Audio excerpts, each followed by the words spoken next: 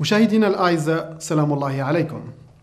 سعيد جدا بعودتي إليكم في موسمنا الثاني من حصة صحة ولدك. موضوعنا اليوم غادي نطرقوا المشكلة شائعة عند الأطفال.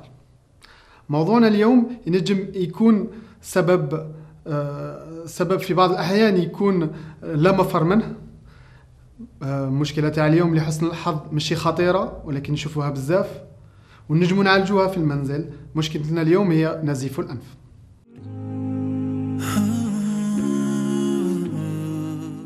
قبل ما نبدو لازمنا نعرفوا بنزيف الأنف. كما تعرفوا الأنف هذا متكون من منطقة صلبة منطقة اللي فيها العظم ومنطقة لينة اللي فيها الغضروف.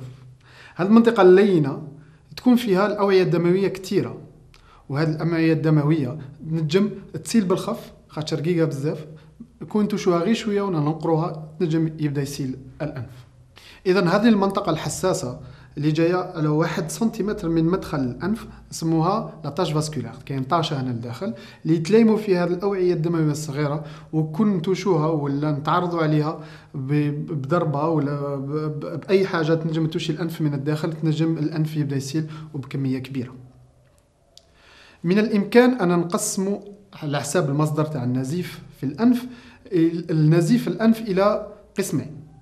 القسم الأول هو النزيف الأمامي واللي نشوفوه كثير عن الأطفال عن 90% من حالات نزيف الأنف عند الأطفال هي نزيف أمامي سواء من جهة واحدة ولا من جهتين. ويحدث هذا النزيف في الأوعية الدموية المتواجدة في الجزء الأمامي من الأنف وعادة ما يكون التحكم فيها سهل ونجم نعالجوها غير في المنزل بلا ما ندو الطفل عند الطبيب. ولكن كاين الحالة الزوجة أو القسم الثاني هو النزيف الخلفي. النزيف الخلفي هو أقل شيوعا عند الأطفال نشوفوه خاصة عند الناس اللي عند الكبار السن. النزيف في هذه الحالة يحدث عن يحدث من شريان يقع في الجزء الخلفي من الأنف ويكون آه، مصحوب في العادة مع ارتفاع في ضغط الدم وهو كثير أكثر تعقيدا من النزيف الأمامي ولازم له العلاج في المستشفى. تجدر الإشارة أيضا أن نزيف الأنف ما يجيش بزاف في الصيف كما تبان لنا حنايا ولكن يجي بزاف في المشتى. في المشتى كاين بزاف الفيروسات الهواء يكون جاف يكون البرد كاع هذه تنجم تأثر في الغشاء تاع الأنف وتخلي نزيف الأنف أكثر حدوثا في هذا الفصل. بالنسبة للسن قلنا الأطفال نشوفهم عندهم بزاف خاصة الأطفال اللي الأعمار تاعهم تتجاوز ما بين السنتين والعشر سنوات. عرفنا هذا النزيف تاع الأنف الآن ما هي أسباب النزيف تاع الأنف؟ إذا من بين هذه الأسباب هو الهواء الجاف. الهواء الجاف اللي نجم يأثر على الغشاء الداخلي للأنف. وإذا زادت الحكة أو تشين الأنف بطريقة آه، أكثر من اللازم ينجم يهيج الغشاء وينجم يبدأ يسيل الأنف في في هذه الحالة. هناك سبب ثاني وهو تناول بعض المهيجات الكيميائية. ما معناه أنه بعض بعض المرات كنتناولوا بعض الأدوية باش نعالجوا حاجة مثل les décongestionnants nasals الوشاتات نستعملوهم في الأنف باش ننقوا النيف أو نستعملوا الدواء les antihistaminiques أو المضادات الهيستامين اللي نستعملوها في حالات الحساسية. فإن هذه تنجم تبدل لنا جفاف في الأنف والجفاف تاع الأنف يكون محرض لنزيف الأنف. السبب الكبير هو في بعض المرات تنظيف الأنف بطريقة غير معتادة بعض الأطفال عندهم هذه العادة اللي مش مليحة واللي قلنا نربوا أولادنا باش ما يديروهاش كثير يدخل نيفه صبعه في نيفه ويبدأ يخرب يبدأ يتليفوني. دونك هذه عادة مش مليحة ولازم نربوا أطفالنا باش ما يستعملوهاش. حاجة حاجة مهمة أيضا آه، الطب الوقائي قلنا باللي الأطفال اللي الأظافر تاعهم تكون قصيرة. كم يكون الأظافر طويلة تنجم تجرح الغشاء الداخلي بصفة سهلة. حاجة مهمة. أيضا اللي قنعسوا ولادنا فيها إنه بعض الأطفال من يبدوا يلعبوا ينجموا يدخلوا أجسام غريبة في الأنف. ما تنجموش تخيلوا كل ما ينجم يديرها الطفل في النيف تاعه وخاصة هذو اللعب الصغيرة ها والحاجات الصغيرة خاصة عند الأطفال اللي عند السن تاعهم قل من ثلاث سنوات لازمنا ناخذ بالنا منهم. من بين الأسباب الشائعة أيضا لنزيف الأنف هو تلقي ضربة في الأنف. سواء خاطر الطفل طاح على نيفه directement يلعب بال بالعجلة تاعو ولا يلعب ولا بكرة القدم في الأنف directement. تنجم تولد نزيف في الأنف. donc اللاعب اللاعب اللي يكون محروس عند هاد الأطفال خاصة للأعمار تاعهم قل من ست سنوات. من بين الأسباب أيضا هو العطس المتكرر. وهذه نشوفوها بزاف في فصل الشتاء. من يكون عندنا l'enfant يكون فيه la grippe ولا حاجة بدا يعطس بزاف. هذه تنجم تولد التهاب في الأنف وتنجم تكون هي سبب تاع نزيف في الأنف. أريد أن أؤكد أيضا على في بعض الحالات.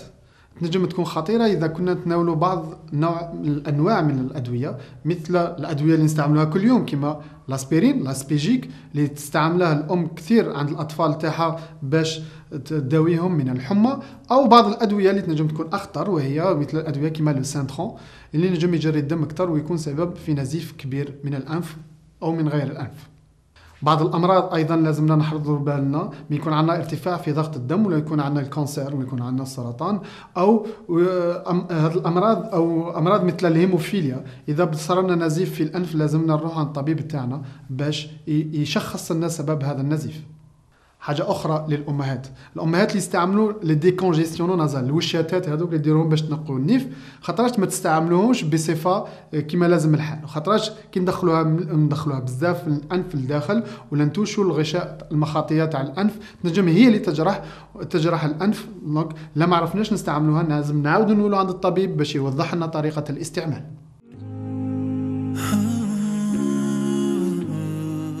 الآن ما هي أعراض الإصابة بنزيف الأنف؟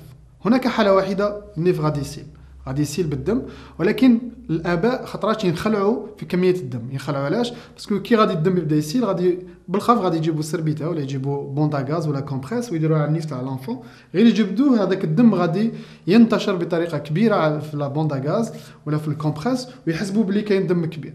donc هذا ما يسبب هلع عند الأطفال وعند الآباء واللي قلنا نقصوا من هذا الهلع. في مغلب في كما قلت لكم في معظم الحالات تاع نزيف الأنف نجموا نسيطروا عليها غير في المنزل ونجموا بلا ما ندوها للمستشفى.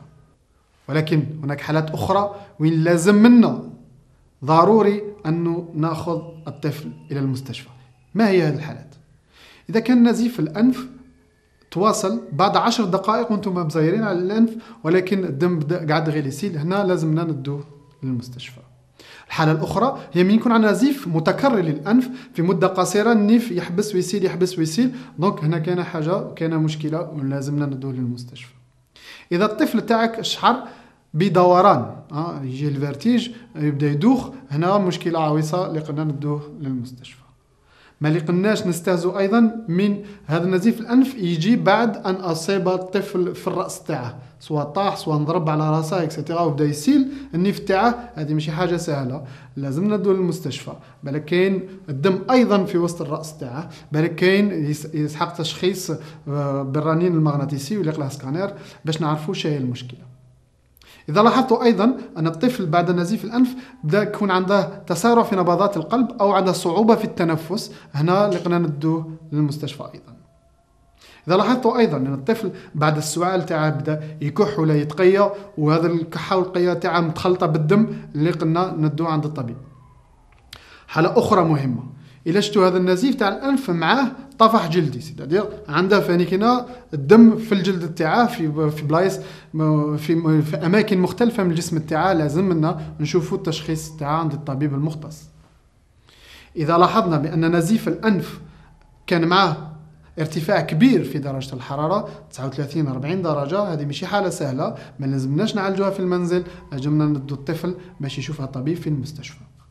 كاين بعض الحالات أيضا المستعصية يكون الطفل déjà يشرب ولا يستعمل في الدواء الكيميائي في حالة مرض السرطان ولا عنده مرض كيما مرض الهيموفيليا ولا يشرب دواء دواء كيما ال Sintrom ولا l'Aspégic لازم دائما ندو عن طبيب إذا كان هناك نزيف في الأنف. بالك اللي قلنا لي دوز الجرعة تاع الدواء لازم لها تتغير.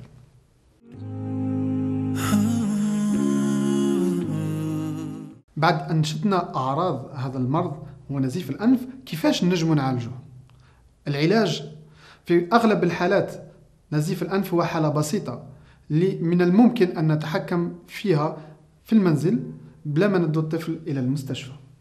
كما ذكرنا في بداية الحلقة هذا الأنف يتكون من جزء علوي اللي هو قاسي ومن جزء سفلي اللي هو لين وغضروفي. نجم نتحكموا في نزيف الأنف إذا استعملنا السبابة والإبهام ونضغطوا ونحصروها في المنطقة اللي جاية بين المنطقة القاسية والمنطقة اللينة. وهذا الضغط اللي نستعملوه لمدة خمس دقائق إلى عشر دقائق. الشخص المصاب بنزيف الأنف لازم له يكون في وضعية جالس ما لازملوش يستلقي وما لازملوش وخاصة هذه حاجة مهمة واللي بزاف الناس يديروها ما لازمش يرد الرأس للوراء. إحنا نضارين نضغطوا على الأنف وخلوا الرأس للوراء. باش ما يسيش الدم. هذه الوضعية ما لقش نديروها لأنه الدم غادي يولي للخلف.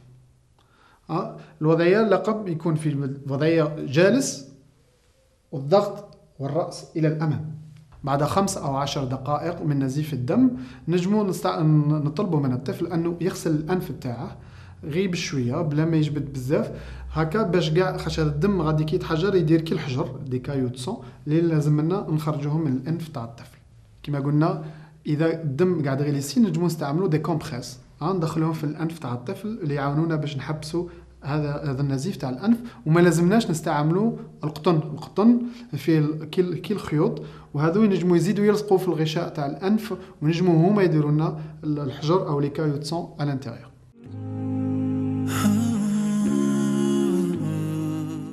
أعزائي المشاهدين إذا اتبعتم هذه الخطوات بالطريقة الصحيحة وقارعتوا الوقت اللازم بمعناه عشر دقائق. فإنه بالإمكان نتحكموا في هذا النزيف النزيف في المنزل بلا ما ندو الطفل إلى المشفى. ولكن في كل الحالات الأخرى إذا النزيف ما حبش وكل حالات من قلنا من يكون حالات صعيبة لازمنا ناخذ الطفل إلى المستشفى باش نشخصوا السبب تاع هذا النزيف.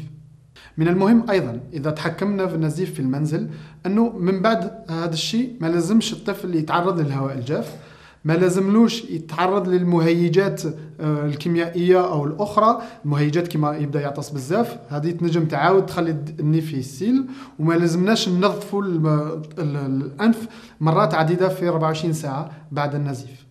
حاجة مهمة أيضا أنه في الأيام اللي غادي تجي مورا نزيف الأنف ماذا بينا نحاولوا باش الأطفال هذو ما يمارسوش بعض الرياضات اللي تنجم تكون عنيفة أو شديدة كما رياضة رفع الأثقال ولا ما يروحش يدير الكاراتيه وين غادي يتعرض إلى صدمة في الأنف.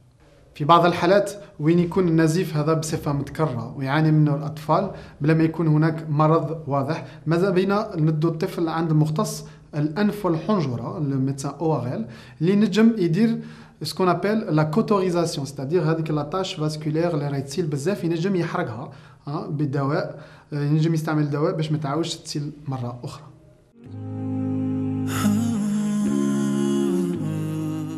مشاهدينا الأعزاء في الأخير نزيف الأنف عند الأطفال هو حالة بسيطة في معظم الحالات ما لقناش نخافوا منها. لازم بعض الأشياء نغيروها في في حياتنا. اللي يقدرش الحرارة في المنزل تكون 19 20 درجة اللي يكون الأطفال الأظافر تاعهم يكونوا نقيين وما يكونوش طوال نربوهم باش ما يخربوش بزاف في نيوفهم دونك كل هذه الأشياء غادي تنقص من من من هذه الظاهرة عند الأطفال. إلى هنا نأتي إلى نهاية حلقتنا اليوم وموضوع نزيف الأنف. ما تنسوش بلي أني نكون متواصل معكم على صفحتنا في الفيسبوك صحة ولدك إلى لقاء آخر إن شاء الله. مع السلامة.